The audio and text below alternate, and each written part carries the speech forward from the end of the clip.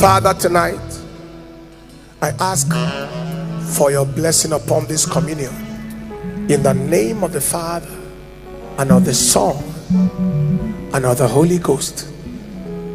I ask for a baptism of the spirit of faith.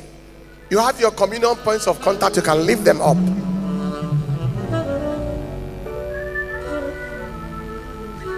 And he suffered no man to do them wrong.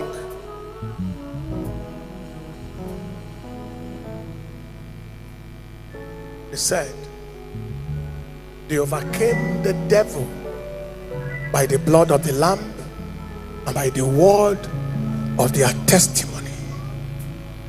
I declare that this communion is your communion of victory. Every arrow of death in February, premature death, stray bullet, witchcraft attack, occult attack, ritualist attack, kidnappers attack, every attack of sudden death, generational attacks, ancestral spirit attack unto premature death or destruction.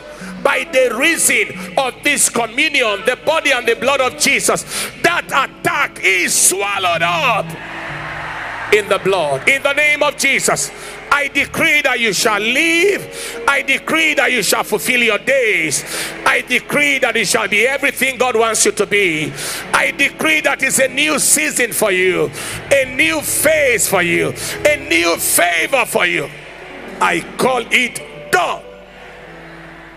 In the name of the Father and of the Son and of the Holy Ghost. I call it done. In Jesus' precious name.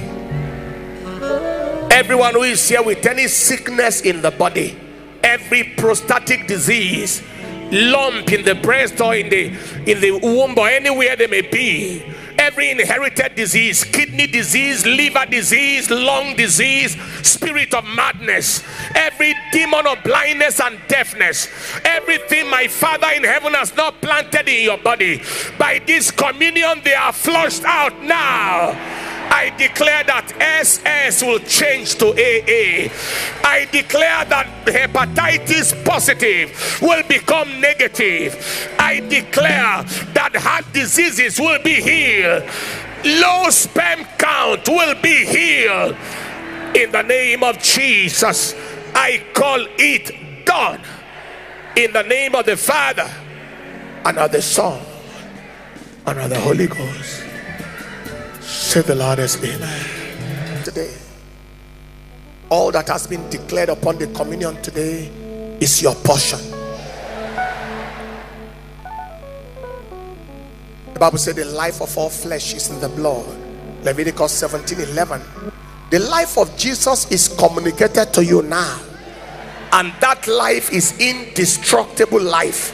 I therefore declare that no devil shall destroy your life and no witch shall destroy your life everything in your life and in your body and in your system that is not of God is destroyed now. Shout the loudest, Amen. Hey! Ay, ay, ay, ay, ay, ay, ay, ay, ay, ay. Look at somebody by your side. Say, it doesn't take time. It will not take time. Now, this is prophetic for somebody here as well. I don't care for how long the devil has tried to mess up your life, or mess up your destiny, or mess up your family, or mess up your future, or mess up your business. It shall be like a dream. It shall be overnight. It shall be a sweep.